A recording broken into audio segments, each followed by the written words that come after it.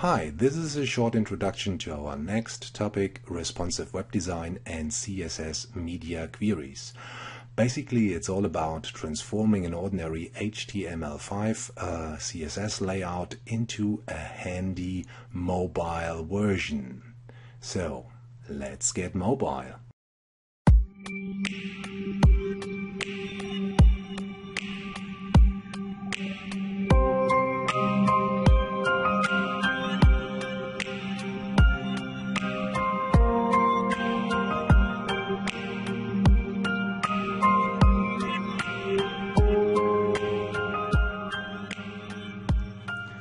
Okay, folks, this week it's time again for some hands on coding, and I hope you are already looking forward to it.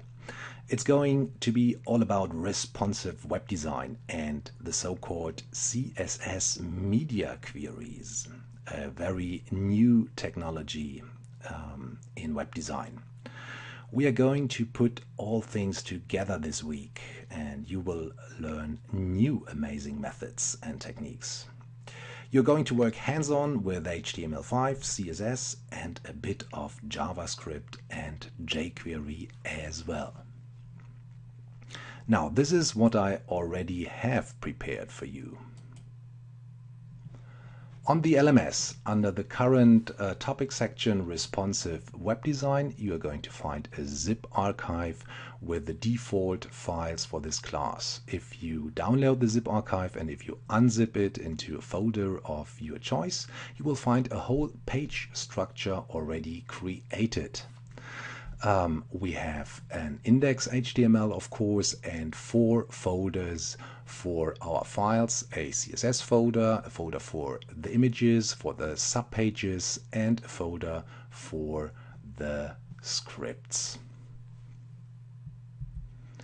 If you open the index.html in a browser, it will look like this. Voila, the Oldtimer Shop, a uh, topic which I made up for demonstration purposes.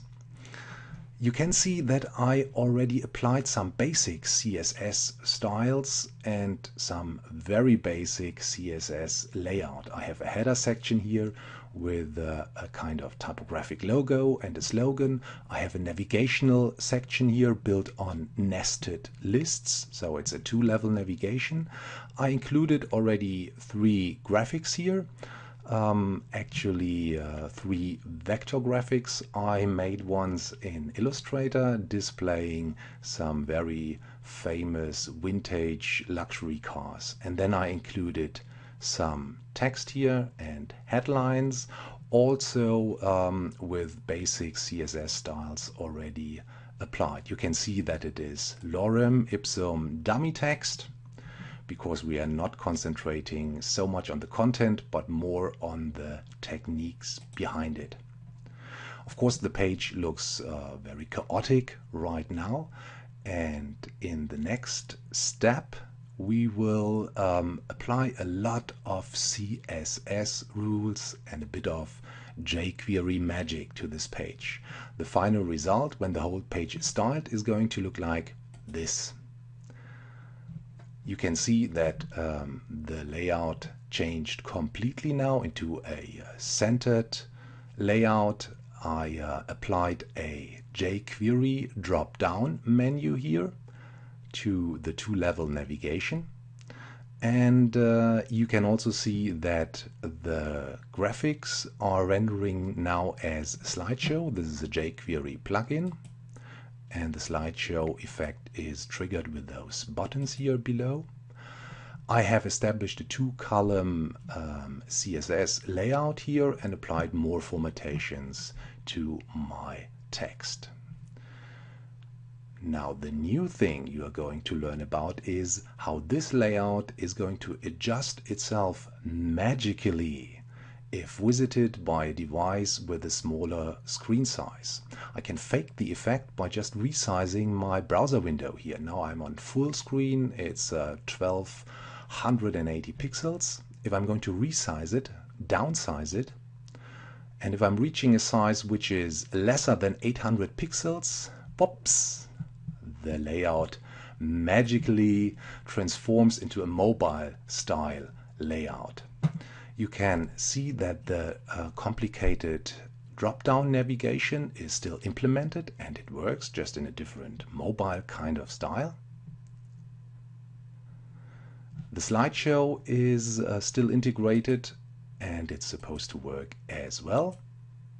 And you can see that for the mobile version I made uh, some content disappear. Some of the uh, text which were included in the desktop version is now um, kind of deleted from the mobile version. So this is called responsive web design.